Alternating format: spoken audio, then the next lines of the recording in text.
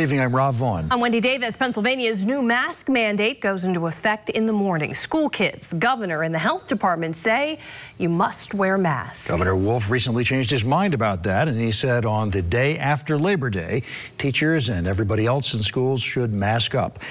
But some districts apparently think that's not right. They don't plan to comply, and some people are even suing the governor. WFMZ's Joy Howe reports.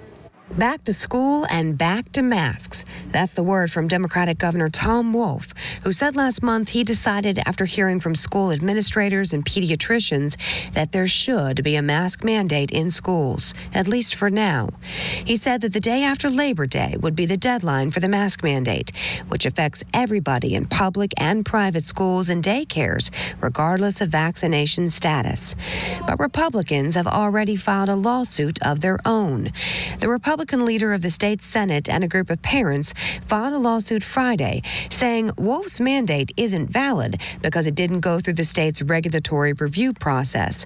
The suit also says that the Wolf administration failed to comply with state law when the masks were ordered to be worn in schools.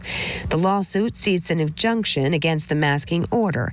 A hearing is now set for September 16th. Meantime, the governor's camp has dismissed the lawsuit, saying the GOP is, quote, undermining public public health. State health officials said that more than 5,000 students have tested positive for the coronavirus since the start of the school year.